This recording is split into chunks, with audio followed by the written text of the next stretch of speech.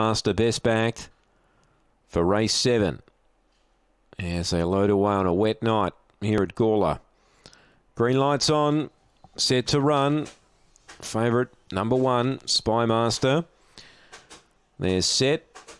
Away, began okay, Spymaster. All Show's got good speed to move to second, but Spymaster will hold All Show, and the two favourites pull clear. Ranger Rose and now Katie Rose, the next pair.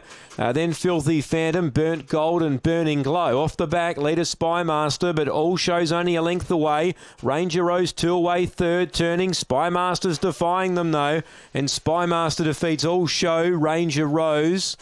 Now, Filthy Phantoms in a photo for fourth with Burnt Gold and now Katie Rose. And Burning Glow last in 22.83 the gallop. So the fave wins. Best back Spymaster held the rail and holds them at bay. All show second. And six third Ranger Rose. Two fourth out Katie Rose. One seven six and two.